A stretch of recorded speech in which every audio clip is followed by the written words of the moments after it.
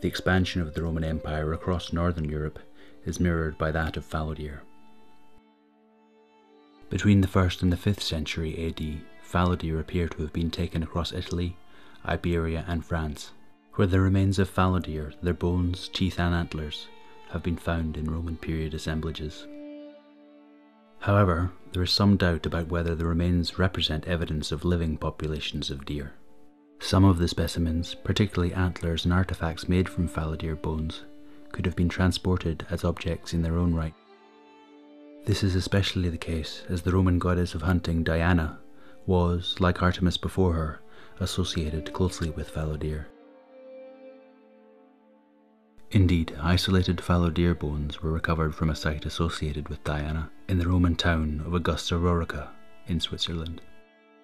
So, whilst these finds may reflect the northward spread of the cult of Diana, they may not represent the transportation of living fallow deer. One site where this issue can be explored further is at Fishbourne Roman Palace on the south coast of Britain. This site is the largest Roman villa north of the Alps, built in the 1st century AD just a few decades after the Roman invasion of AD 43, the palace was sumptuous, decorated with fine paintings, intricate mosaics, and set in a beautiful landscape garden. To find out more about the palace and its significance to the fallow story, Holly is visiting the site to meet its curator, Dr. Robert Symmons. The site was discovered in 1960 and is home to probably the best collection of in situ Roman mosaics in the country.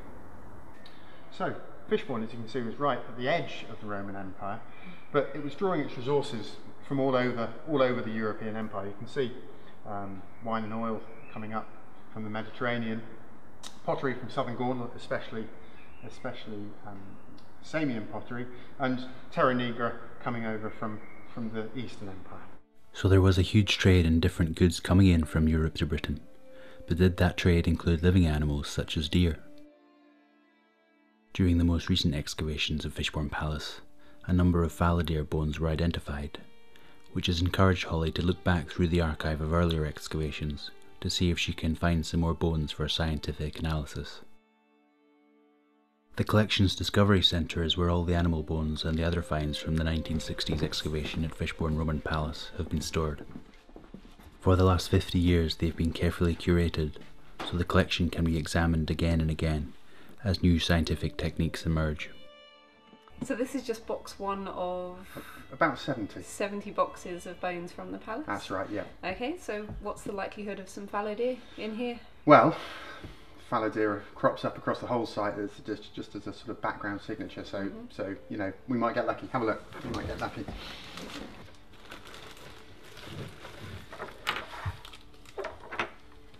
Were these live deer being imported? Or just a trade in deer antler and bone? Yeah, there we go. Fallow deer. Lovely. Great, thank you. Um, would you mind if I took this with me? I'd like to take a couple of samples.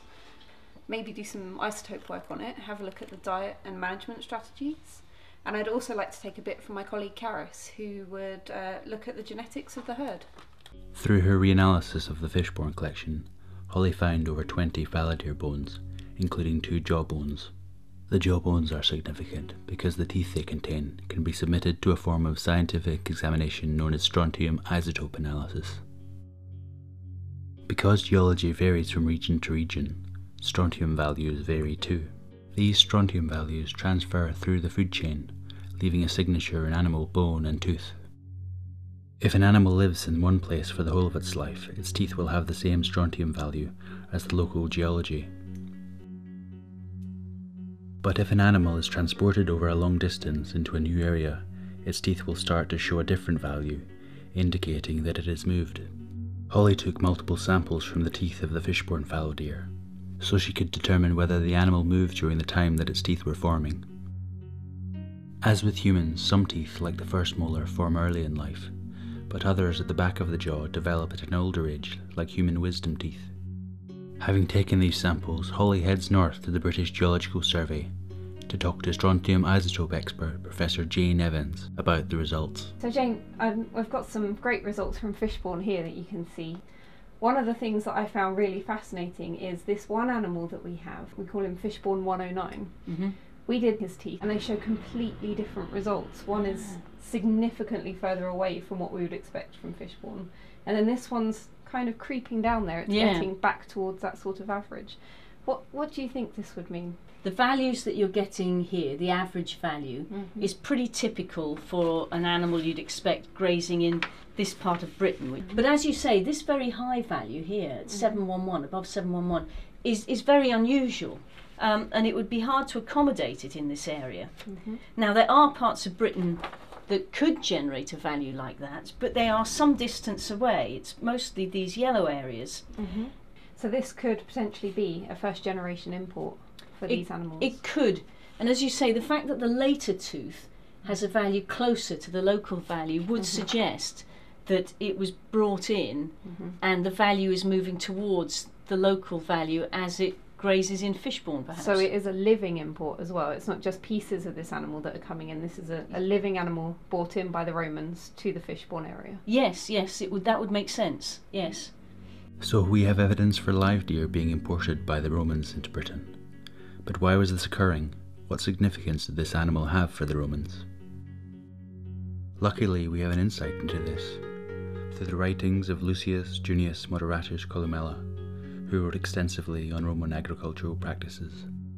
To learn more about Columella and what he reveals about Roman attitudes to the natural world, Holly pays a visit to Roman archaeologist Will Bowden. So, Will, it looks like we've got really early fallow deer in Britain at Fishbourne Roman Palace. What are they doing there? Uh, well, it's it's very interesting and very very unusual that they are that they're there. The Roman attitude to the natural world is very much one of one of domination, and you as a as a civilized Roman, what you're always trying to do when you're constructing the landscape of your villa, the agricultural regimes that you're using, you're bringing order and civilization to the to the chaos of the natural world.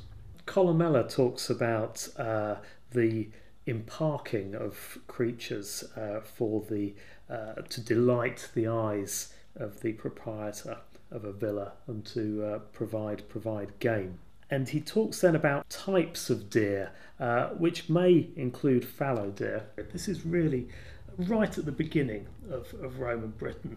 To have this going on in Britain shows that whoever is living at Fishbourne is extremely familiar uh, with the, the ideologies of Rome itself. And we can also see this uh, very much at Fishbourne with uh, the uh, the imposition of gardens and this idea of, uh, of imparking imparking animals. It's really it's, it's completely unique uh, for for Roman Britain. Fishbourne, of course, always.